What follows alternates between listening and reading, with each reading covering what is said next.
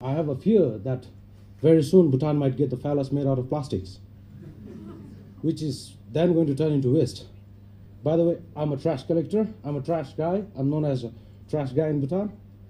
And me, coupled with some of my friends, we have started Bhutan's first waste management initiative. When, when I came to TED, uh, it was sharing of ideas, and I, I, I have a belief that everyone has own ideas. And in terms of my say, I'm going to, uh, I'm going to talk about how our project came up and how it's acting as a solution to the current problem. Lah. Are you part of the problem? Lah? Let us not deny the fact that we are all part of the problem, but it is high time now we need to change our perception. Lah. So this was the moment, this is the landfill that Thimphu has, which is in between, well, you drive to Dochula, you'll find on the way. This landfill was designed in the year 1994 with a life expectancy of almost 10 years, but it started overflowing very soon.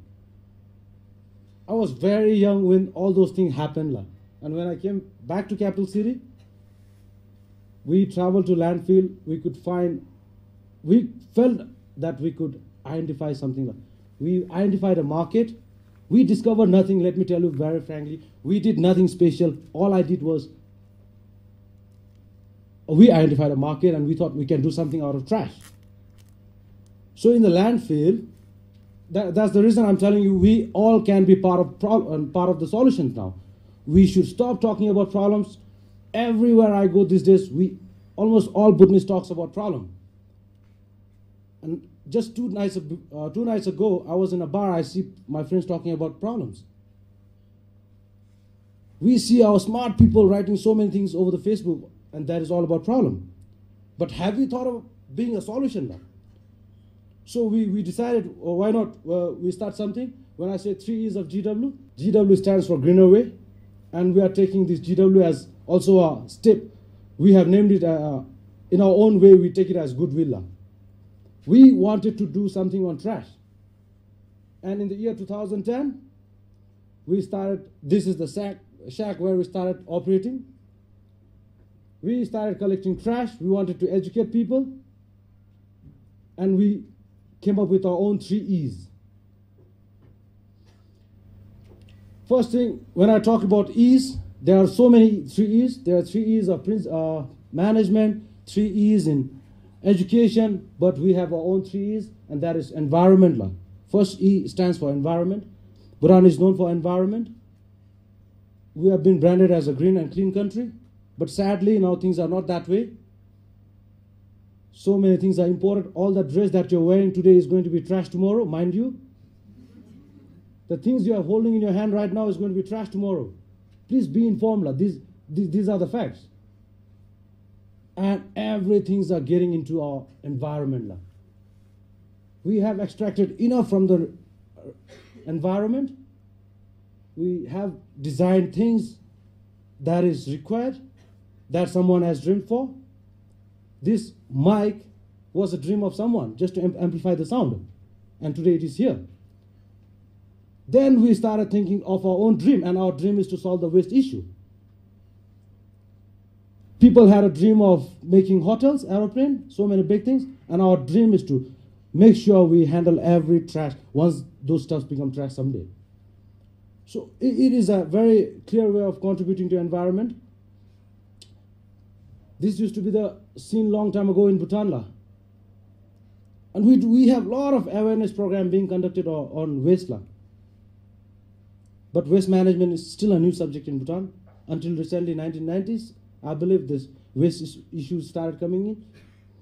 So when we started, we were going everywhere, like starting from riversides to drains, and we could find trash littered all across deep inside we had a pain and we thought we, we should do something from our heart, not for publicity stunts. Seriously. And now this is what's happening with us.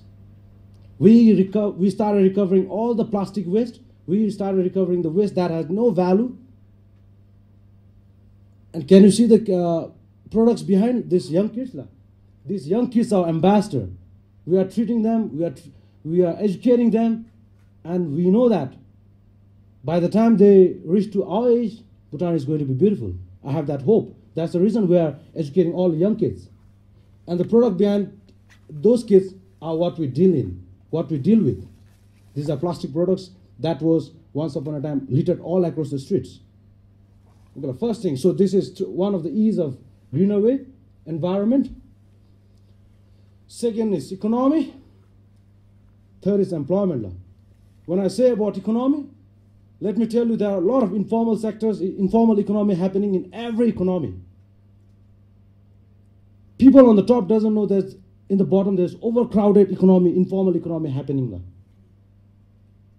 And those economies are very much informal and our intention was to create a formal economy out of trash management. And we did, we did that. It might sound like I'm talking too much, but let me tell you the figure, let me give you a figure. We have more than 200 people making living from trash now. So in that way, we have also started ex exporting this recyclable waste to all across India, and we have created economy out of it. Employment, when I'm talking about employment, uh, our employment ratio is hardly 3.1, which is say, which is mentioned by, it was published in one of the articles of Ministry of Labor. We have a lot of em employment issues, it has been said, but I don't think there's employment issues because in other part of the world, in Spain, for example, I believe there's more than 50% of youth unemployed. In Greece, 35%. So Bhutan shouldn't be a problem.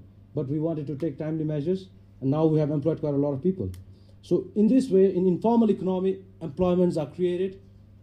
People has to, thank you for giving me platform, but I'm just sharing you that a lot of employment being created in the, in the informal economy. Act now to have it own. La. All of us have visions, all of us has our dream, but none of us are really working towards it. La. Let us all act together, and together we can clean the country, together we can clean the globe we should come, we should think as a local now. Lastly, on this auspicious day, I would like to remind you what His Majesty the King has been repeatedly mentioning and arguing us, like urging us to do. So it is not a question of whether we have the capability to achieve success. The question is, will we make the choice to stand up and take responsibility? Will we choose to make a difference? Together we can make a difference and I'm sure our small, my small story of sharing this might have changed the perception of how you look things like. Thank you very much. You guys have a good day.